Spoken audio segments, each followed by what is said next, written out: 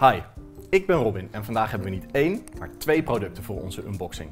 Ze passen perfect bij elkaar in design en ze vullen elkaar supergoed aan in gebruik. Deze combinatie beschikt over een aantal eigenschappen waardoor het voor mij wel eens de perfecte koffie- en espresso machine kan zijn. Ik ben vanochtend erg vroeg opgestaan en wel toe aan een bakje koffie, dus laten we ze snel gaan uitpakken, dan kunnen we goed beginnen.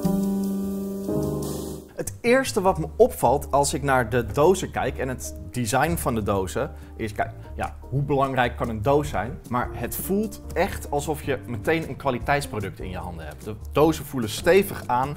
Het is echt uit dezelfde familie en daar word ik enthousiast van. Er is gewoon echt aandacht aan besteed. Wat ik erg leuk vind en wat meteen ook de ervaring ten goede komt, is dat de koffiemolen echt apart is van het koffiezetapparaat. Of de koffiemachine. Zo.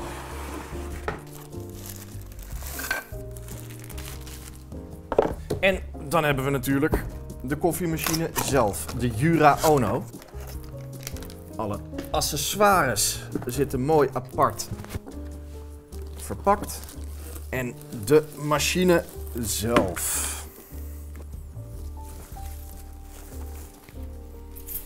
Mooi afgewerkt. Mooi apparaat. Nou, ik heb alles geïnstalleerd en zelfs het plaatsen van het waterfilter in het waterreservoir was echt super makkelijk. Ze hebben alle twee een gelijksoortig design. Namelijk een combinatie van mat zwart en hoogglans zwart, wat vind ik heel erg chic oogt. Ik vind de hendel om het apparaat te bedienen, vind ik heel veel toevoegen aan de stijl van het apparaat. En wat ik specifiek ook heel erg leuk vind, is dat het allemaal best wel compact is gebleven. Met het formaat van de apparaten valt eigenlijk op dat het zit tussen een machine met cupjes en een volledig volautomatisch espresso-apparaat. Die zijn over het algemeen wat groter en de cupjesapparaten zijn wat kleiner.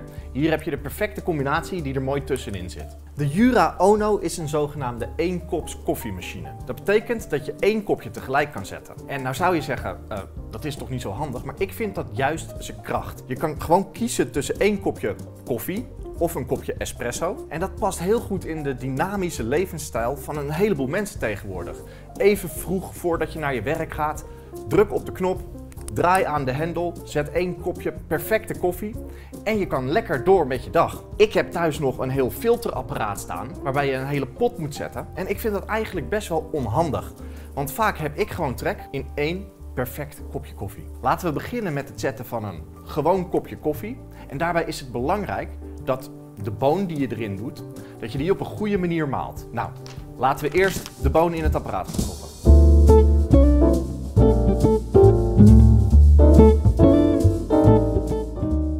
Zoals je net al even zag, is de Jura koffiemolen een heel compact apparaat.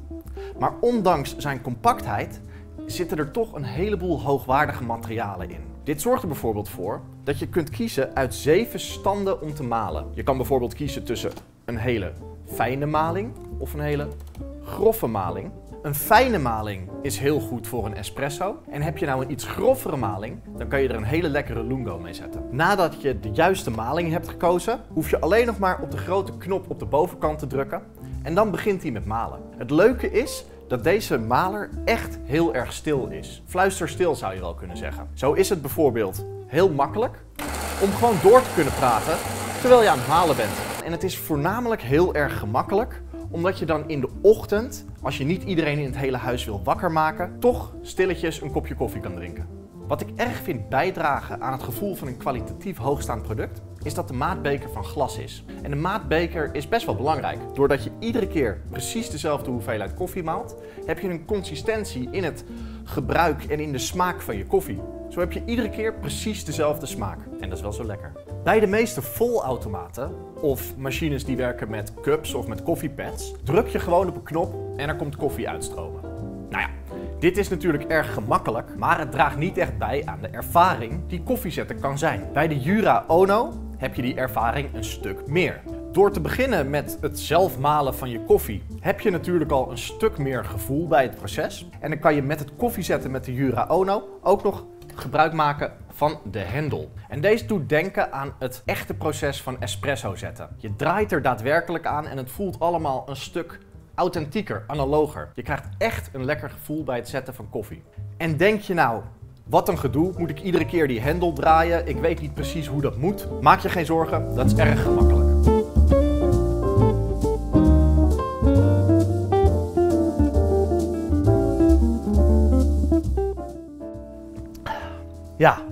Dit is koffie.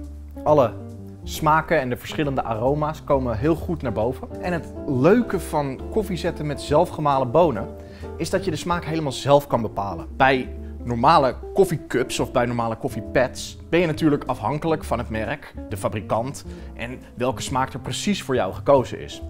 Dus er is weinig keuze. Doe je het nou zelf? Dan kan je misschien zelfs je hele eigen blend maken van twee verschillende koffiesoorten. Dat kan je erg creatief maken en dat maakt het koffiedrinken een hele leuke ervaring. Een ander voordeel van het zelfmalen van je bonen is dat je ecologische voetafdruk een stuk kleiner wordt. Gebruik je een koffiemachine met cupjes of met pads, dan heb je bij ieder kopje koffie een grote hoeveelheid restafval. Nou ja, natuurlijk niet bij één kopje koffie, maar zo door de week bouwt die hoeveelheid afval behoorlijk op. En dat moet allemaal weer verwerkt worden. Heb je nou alleen koffieresidu, zoals bij de Jura Ono, dan is dat biologisch afbreekbaar. En is jouw impact op het milieu weer een stukje kleiner geworden.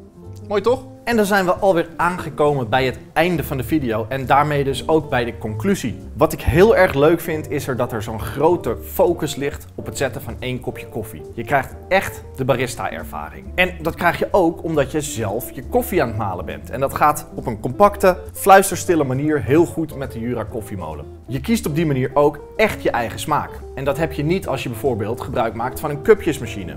Die smaken altijd precies hetzelfde en hier kan je precies de combinatie bonen kiezen die jij echt lekker vindt. En omdat je geen cupjes gebruikt, is het natuurlijk ook een stuk beter voor het milieu. Ik vind dit echt een hele mooie combinatie die ik graag thuis zou willen hebben staan. Past heel goed bij mijn leven. Ben je nou echt geïnteresseerd in de Jura Ono en de Jura koffiemolen? Klik dan even op de link in de beschrijving en dan kan je alle specificaties van het apparaat terugzien op kieskeurig.nl. Ook kan je daar de koffiemachine vergelijken met andere modellen en zo een heel bewuste keus maken. Vond je dit nou een leuke video? Klik dan eventjes op like. En wil je meer van dit soort video's zien, abonneer je dan op ons kanaal. Tot de volgende keer.